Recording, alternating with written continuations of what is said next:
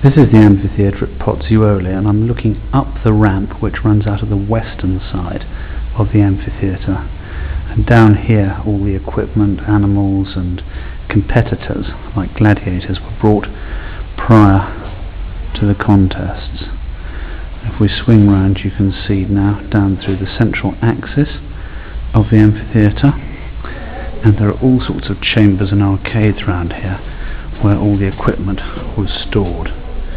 One of the curiosities of this place is the fact that it's filled with gigantic pieces of ancient architecture, most of which must have come from the surrounding town and seems to have been brought down here in late ancient times or the early Middle Ages when people made their homes down here. And there's a whole series of these chambers running around the ellipse of the arena with uh, window lights up to the surface which would have been covered in boards at the time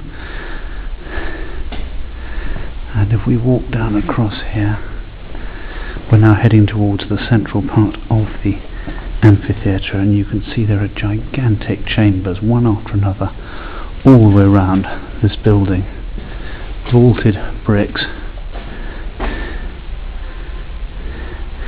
The columns are all much of a muchness and so are the capitals and they all seem to have come from one very large public building at least maybe several, but they are broadly speaking very similar. And if we head over here, we're going to come back towards the central part of the arena. We're now looking across the middle part of the amphitheatre, that's across the short axis, and as we come into here, we're on the long axis, looking down now towards the eastern side and the corresponding ramp at the other end.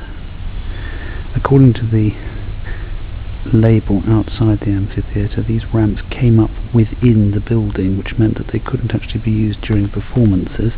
They were covered over with timber planks during performances, and that uh, meant that spectators could access their various seats, but it also meant that you couldn't get any more gladiators or animals down, so therefore they all had to be brought in prior to the fighting or the shows being put on.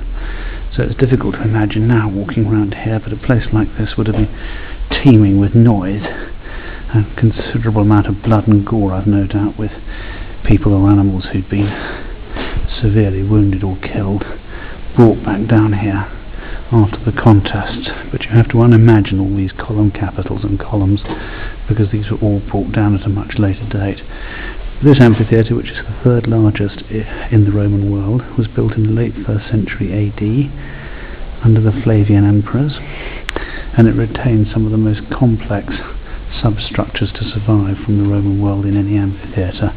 And you can see their brilliance at building vaults and using them to create space with enormous architectural strength to very good effect here. So we are something like 20 feet at least below the surface of the amphitheatre, probably a little bit more than that, down here on the floor level.